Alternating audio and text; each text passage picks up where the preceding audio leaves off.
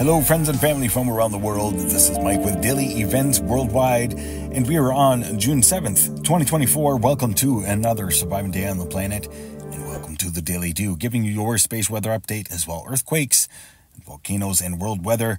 Always starting out here looking at our sun for the past 48 hours. Pretty large plasma filament destabilizing. We were watching those the last few days. And one M class flare every 24 hours. It seems to be the pattern right now. Big sunspot groupings are the players for the M class solar flares. Looking at the last 48 hours incoming, you can see the plasma filament that destabilized. Half of it went out into the abyss, the other half snapped back into the sun. And then watching a sunspot grouping, pretty active coming in. Looking at outgoing here, large plasma filament on the right hand side seems to be hanging out along the surface still. Big solar prominence there. Having a look at multi-spectrum. As I said, three M-class solar flares the last 48 hours and watching the plasma filaments.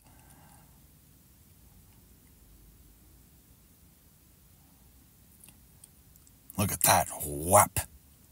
Huge plasma ejection. M-class solar flare and another M-class solar flare from active nine sunspots on the Earth facing disk. Two pretty sizable sunspot groupings that we're watching closely as they have been big players as of late. Now let's have a quick look here at the surface of our sun in motion here. Time lapse sped up. Big sunspot groupings. Want to watch when it's red and blues together. Here, just looking like there's black holes on the sun. Space weather conditions. Currently, we are under R1, minor radio blackout impacts expected, and as well G2, level 2 geomagnetic storm impacts. These are moderate. High latitude power systems may experience high voltage alarms. Solar winds are coming in at 492 kilometers per second right now. Solar X-ray flux, as I said, three M-class solar flares, moderate and one, two moderate and one strong. Shows four there, but one was a double spike, long duration. Geomagnetic activity hopping up to a KP6. So level 2 geomagnetic storm right now, and that is due to this most recent CME looking at the projection here, Space Weather Prediction Center. We're expecting that throughout the day today and into tomorrow and even into the 10th as you can see those huge solar streams coming out from the center of this spiral here. This is our sun, depicting our sun, and as well the little green circle is our planet, planet Earth. And when you've got the yellow and the green coming in, that is space weather effects and geomagnetic storms. ISWA Space Prediction Spiral showing a backside CME taking off towards Mercury and a big band of space weather here expected over the next couple days. Minor auroras through the northern hemisphere will be observed, can be observed. Tonight, forecast, and tomorrow forecast pretty much the same. And then let's have a look here for the first week of LASCO 3 imagery. Big halo CME on the first into the second. And then no ma real major CMEs thwarted our way since then. Just some pretty active sunspot re regions producing M flares, X flares. It has been very busy the last few weeks, counting over 170 sunspots for the month of May, and that is well above predicted values, almost triple the, predict, the predicted values by NASA and NOAA. This is showing the last seven days. Big backside CME there. Stay tuned. Keep you aware and prepared. Now let's get to earthquakes the last 24 hours. It's been pretty busy. 5.9 earthquake here. Sea of Okhotsk. Okhotsk 622 kilometer depth, though. That's the deepest earthquake we've seen since the 617 kilometer depth earthquake just about a month or two ago. Deep earthquakes all through the Marianas Trench as well. The Volcano Islands region, 5.6 there, Indonesia, pretty deep.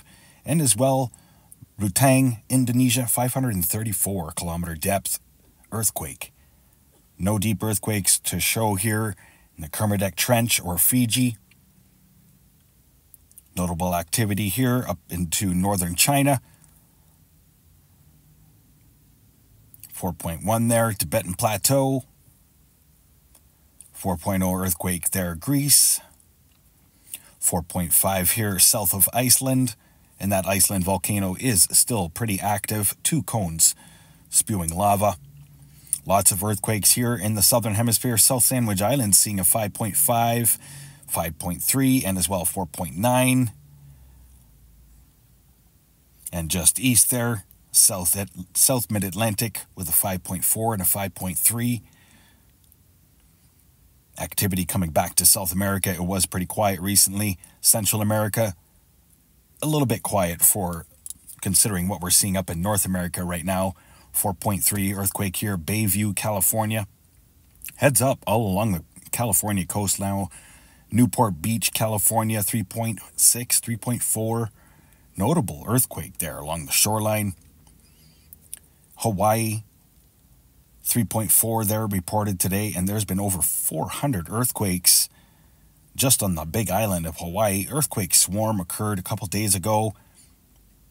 Right now, the USGS is reporting 230 earthquakes across the map, and that is a little bit above average.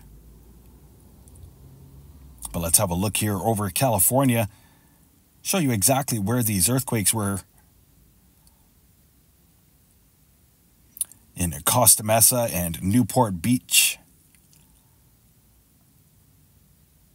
And then minor seismicity all around the basin all around San Francisco Bay, and then just recently here with the 4.3 at Bayview off the coastline, but up into the Juan de Fuca Trench.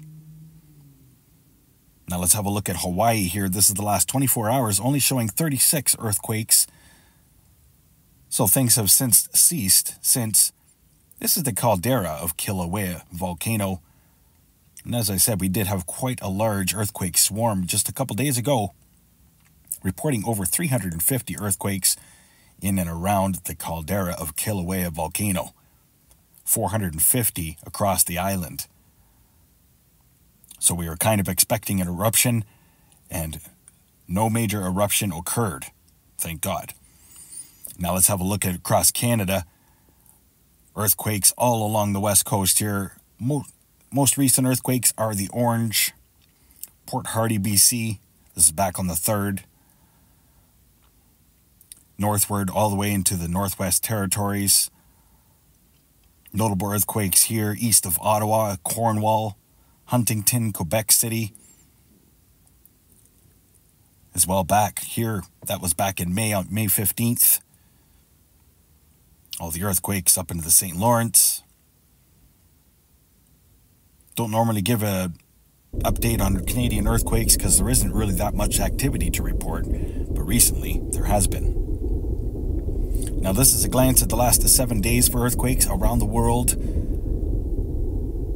Most notable is that deep and 5.9 magnitude earthquake, 620 kilometer depth off the coast of Russia.